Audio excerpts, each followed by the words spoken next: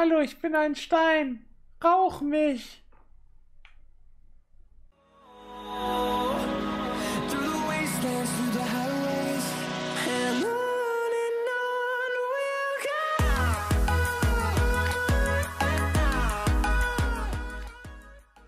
Servus Leute und willkommen zurück bei der Shisha WG. Heute geht's weiter. Wir starten in den nächsten Teil des Community Kopfbaus. Als erstes gucken wir uns hiervon nicht ein Typ, ein Kopfbau im Oblako M mit Black Nana und Lotus 1 Plus an. Schon mal sehr vielversprechend das Setup. Wir schauen mal in den Kopfbau rein. Auf jeden Fall schon mal eine gut leere Black Nana Dose.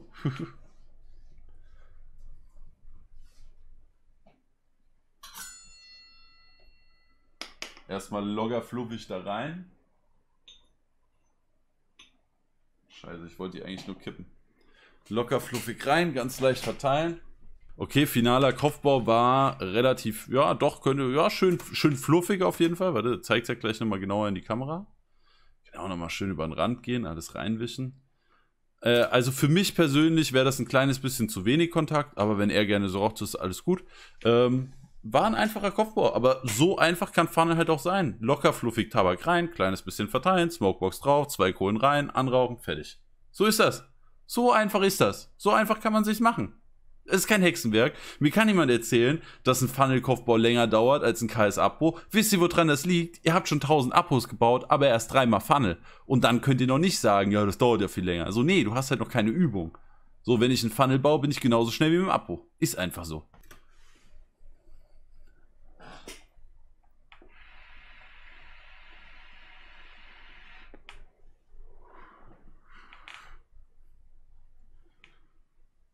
Vollkontakt ist zu hart, ja, wie man, wie man mag, ne?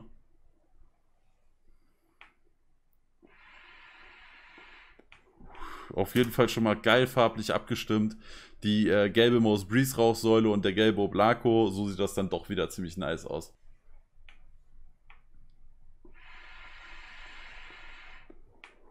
Sah doch solide aus, oder?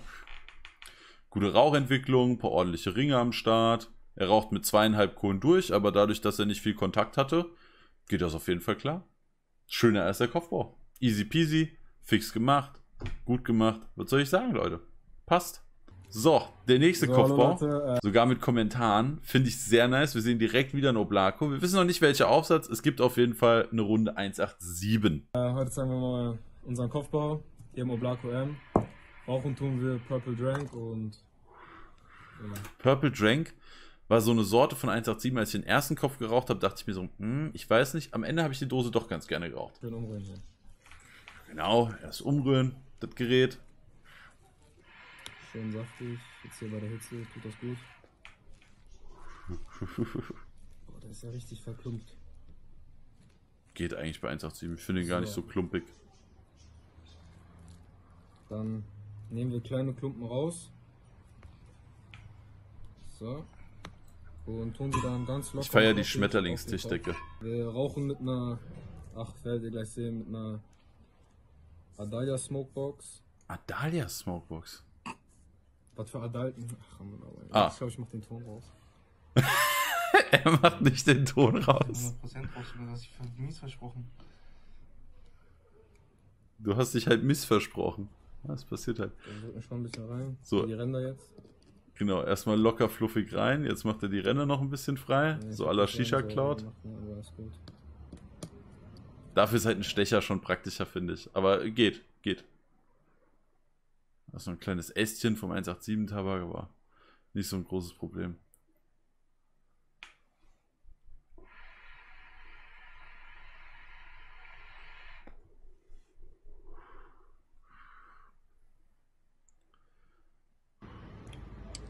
So, dann machen wir doch den, das Köpfchen sauber hier. Genau, einmal schön über den Rand drüber gehen. Hm, du machst du eh drum aus. Nee, nee, ich, ich mach mal bestimmt schnell raus. er macht den Ton nicht raus.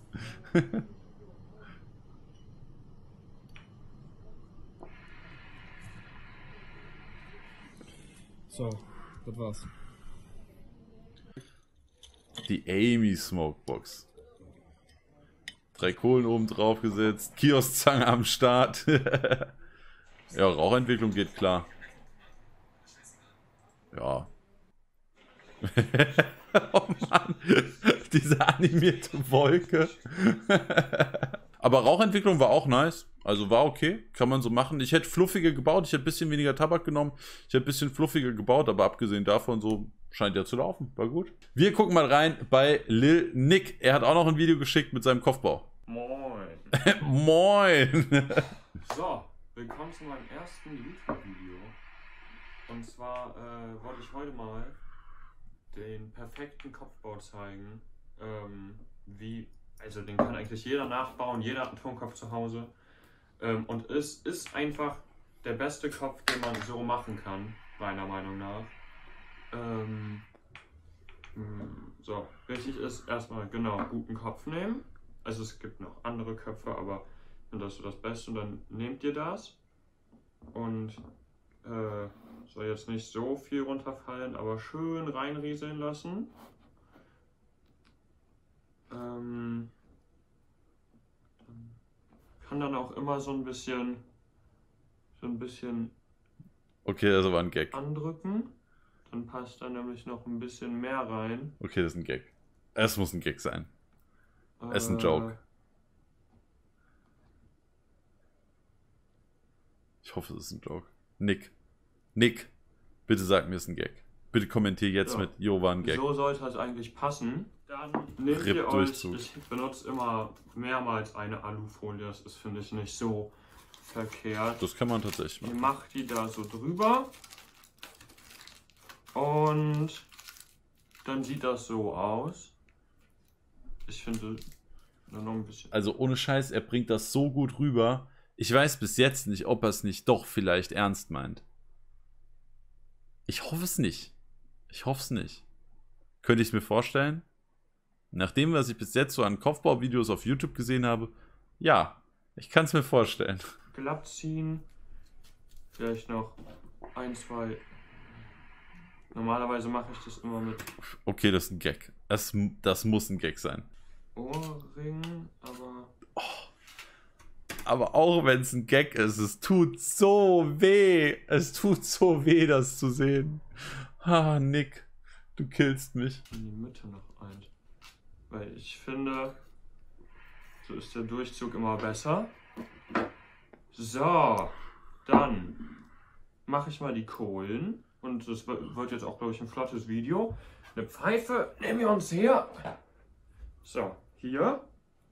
Ja, eine alte Amy, aber perfekt. da war doch keine Dichtung, oder? Dann erzähle ich euch jetzt mal noch ein bisschen Scheiße.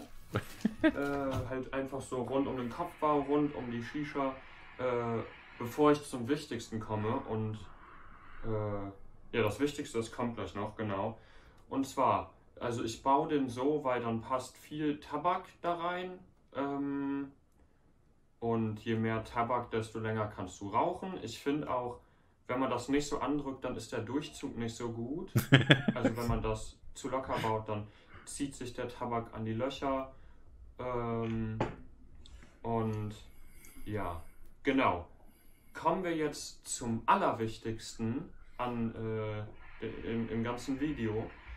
Äh, und also wer diesen Schritt nicht befolgt, da kann ich versprechen, der hat gar keinen Spaß am Rauchen. Also äh, wer, wer das nicht, wer, wer das nicht äh, macht, der hat keine Ahnung vom Pfeife rauchen. Ähm, und zwar stellt ihr den Scheiß weg, äh, den ihr gerade einfach nur aufgebaut habt, um äh, irgendwelche Leute zu triggern. Grüße gehen raus, Nick. Danke fürs Triggern. Holt euch eure richtige Pfeife ran. Oh yeah. Jetzt, äh, now we're talking. Vorgefertigten Kopf. Oh ja. Ja. Ähm, Okay, er macht gerade alles wieder gut. Also Nick, Respekt, dass du es so gut rübergebracht hast. Ich war echt lange am struggeln, ob du es ernst meinst. Ich dachte erst so, als du den Tonkopf genommen hast, dachte ich erst so, okay, wäre jetzt nicht mein Setup, aber wenn es dir gefällt, alles cool, sehen wir auch mal einen Tonkopf-Kopfbau. Dachte ich mir so, okay, nice, kann ich mit leben. Aber thank God, die KI von der Oblako und die Smokebox. Ah, Kann ich doch beruhigt schlafen heute. So, Sehr geile Rauchentwicklung. ein bisschen anziehen. Geraucht wird heute weirde Combo. Sparking aber Iced Tea und Black Nana? Black Nana. Zusammen mit dem Hookah Ah, nee. Center Shocks Ah, ja, kann krass. ich nur empfehlen, wirklich. Also wer auf, auch schon ein paar Mal Traubenminze, Zitronenminze steht, macht damit auch nichts verkehrt. Ist dann noch so ein bisschen so eine saure, bisschen herbe Note, aber eher noch so eine saure Note dabei.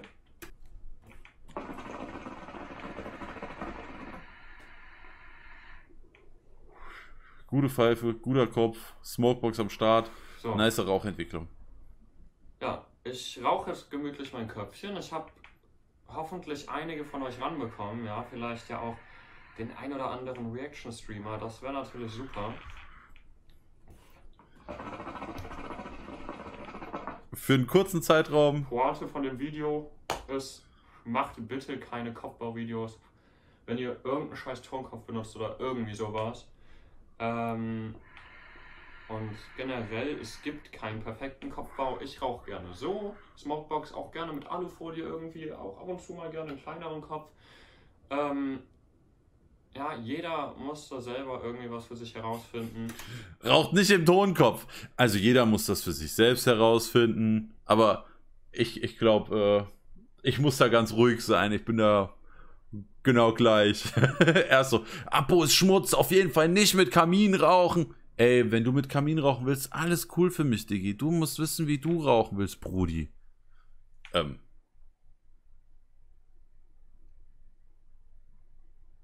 Hoppla. Du hast nicht den besten Kopfbau, wenn du im Tonkopf rauchst. Ja, okay.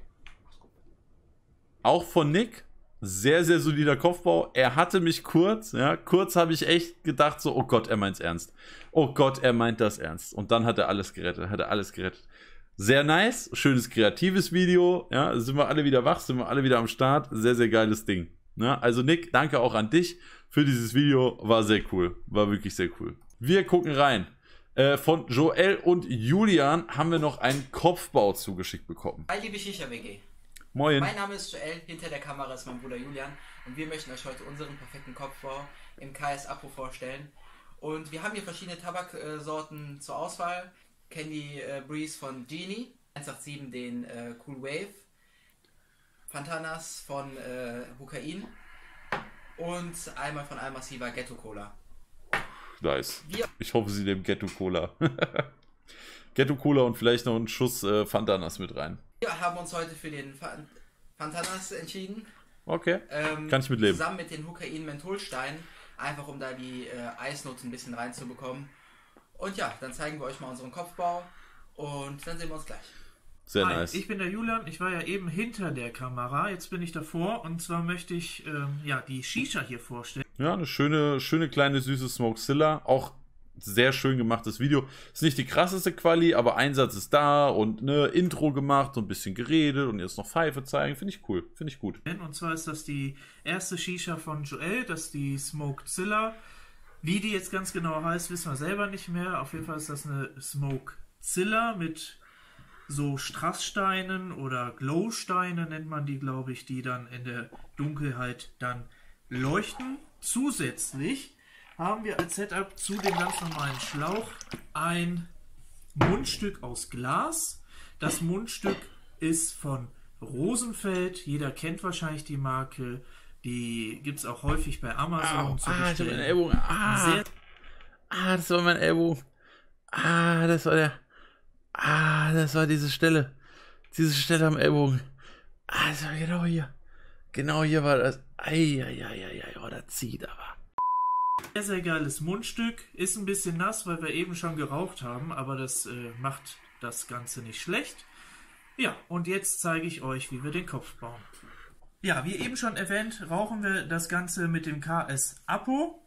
Das ist einfach ein Steinkopf. Jeder kennt ihn wahrscheinlich, sehr geläufig. Einfach aus Ja. diesem Grunde, weil wir noch nicht mit diesem schönen Exemplar, und zwar den Werkbund, Lecker, lecker, lecker. können. Ganz einfach, weil wir noch keine Smokebox haben. Die haben wir per Wish bestellt. Die kommt auch die Tage jetzt an. Er, er meinte natürlich, äh, wisch dir deinen Kalaut Lotus Original. Aber jeder, der schon mal da bestellt hat, weiß, das dauert einfach zu lange. Dementsprechend heute im KS Aber, aber geil, dass sie den am Start haben und Bock drauf haben. Und dann fangen wir auch direkt mal an. Zum Kopfbauen benutze ich dieses schöne Ding. Vielleicht kennen das einige aus äh, Eiscafés. Das habe ich mir einfach zunutze Krass. gemacht. Ich finde, das ist ähnlich wie so ein Kopfbaugabel. Das ganz Ganz ehrlich, ich würde die hier abschneiden und als Kopfbaugabel nehmen. Dann hier noch ein bisschen anschleifen, damit es spitz wird und dann hast du praktisch die Werkbundgabel. praktisch. Und ja, eine günstige Alternative zu dem Werkzeug, äh, Werkbund-Sachen. Machen wir jetzt erstmal Fantanas von Hokain auf. Bisschen Sehr ausführlich, ey. Die Jungs sollten mit YouTube So anfangen. sieht das Ganze aus, wie bei Hokain üblich, sehr, sehr feucht. Ähm, das tut dem ihn. Ganzen aber keinen Abbruch. Ich finde, das äh, sind wenige kleine Ästchen, dementsprechend auch eine ganz gute Tabakqualität. Und ja, leider habe ich kein Sieb mehr, das habe ich verschludert und Das äh, geht auch ohne. Deswegen rauchen wir jetzt ohne Sieb. Ja, macht dem Ganzen aber auch jetzt nicht viel ab. Ja, muss man nur achten, dass jetzt die Löcher nicht verstopft werden und sowas. Aber das kriegen wir alles hin. So, ich versuche so zu bauen, dass ihr das ganz gut sehen könnt. Und zwar habe ich den Tabak jetzt mal durchgemischt und packe hier jetzt kleine Sachen hier rein. Ja? Also Kleine kleine Sachen. Kleckschen, sag ich jetzt mal. Kleckschen. Ähm, da muss man einfach nur darauf achten, dass jetzt nicht irgendwie ein kleines Blatt ins Loch schlüpft. Ja? Das heißt, wenn ich hier mal so ein bisschen vorarbeite, ganz locker fluffig, dann passiert da eigentlich auch nichts. Ja, man kann natürlich beim Rauchen ein Blatt anziehen, das passiert leider. Wie gesagt, Sieb haben wir leider nicht da, aber demnächst auf jeden Fall wieder am Start. Ey, solange der Werkbund mit Smokebox am Start ist, ist mir das eh viel lieber. So ungefähr sollte dann der Kopf aussehen, unserer Meinung nach. Ähm, wobei ich jetzt beim Drehen sehe, hier könnte man Ja, noch so die- ein ah, bisschen verfeinern. Ich sag mal, ein bisschen geht überall immer, aber grundsätzlich ist das jetzt ein Kopfbau. Nee, ich, hätte, ich hätte eher gedacht, er macht das hier noch ein bisschen runter. Da steht eins relativ hoch. Das hier würde ich noch ein kleines bisschen wegmachen und das.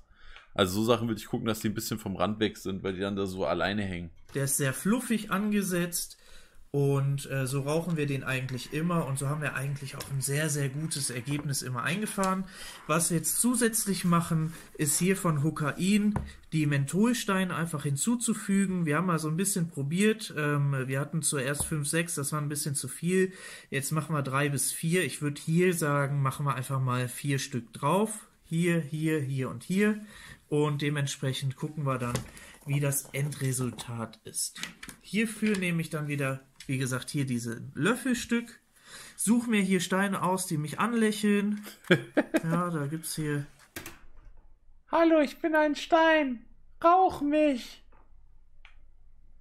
Ist jetzt nicht passiert.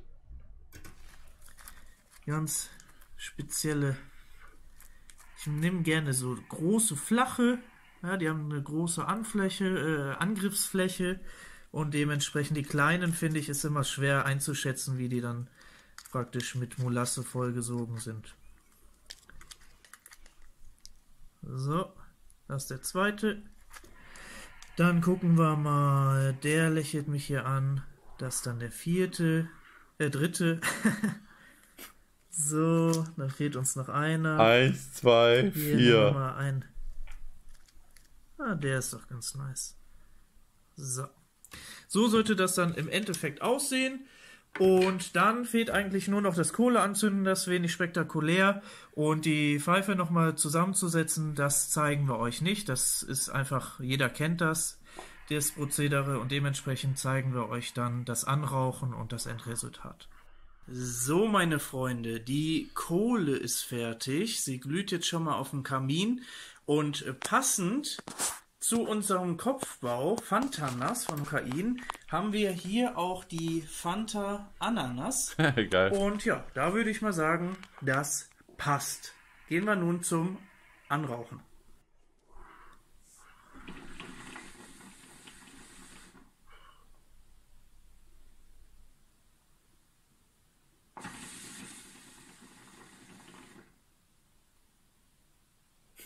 Ganz, ganz bedacht und langsam wird der Rauch ausgeatmet. Aber für Anrauchen ist schon okay.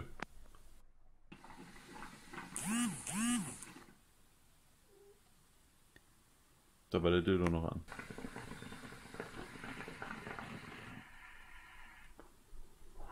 Pfeife geht absolut klar.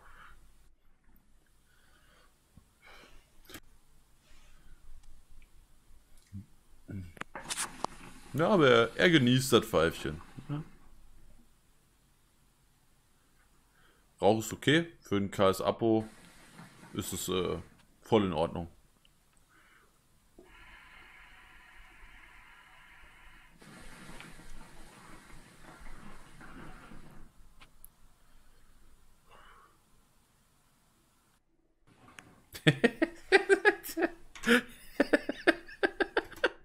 Einfach mal jeden Kamerawinkel mitgenommen, der ihm irgendwie eingefallen ist. Sehr geil. Achtung, jetzt nochmal leicht links rüber gekippt. Vorsicht. Boop. Feier ich. Finde ich sehr geil. Finde ich sehr, sehr geil. Oh. Was läuft denn da im Hintergrund? Oh. Ja, vom Geruch. Eine leichte Kühle ist da. Keine krasse Kühle. Schönes, ey, schönes Shisha-WG-Video. Schönes Pfeifchen rauchen. Wunderbar. Wunderbar ist das. Outtakes, da ist hoffentlich keine Musik mehr. Hi, ich bin der Julian und zusammen mit dem Joel, der hinter der Kamera sitzt. Mann. Finger ist sowas von. Nein, ist er nicht, wirklich Kamera. nicht. Wallah, nein.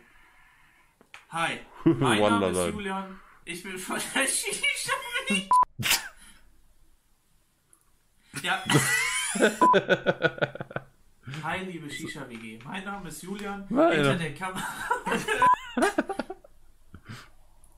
ja. Okay, sehr nice. War ein, schön, war ein schönes Video. Leute, ich danke euch erneut für die Einsendung. Es macht mir unglaublich viel Spaß, eure Kopfbauvideos anzugucken. Wenn es euch gefallen hat, gerne einen Daumen nach oben oder ein Abo da lassen. Glocke aktivieren, damit ihr das nächste nicht verpasst. Und in dem sehen wir uns dann hoffentlich wieder. Bis dahin, macht es gut. Eure Shisha-WG.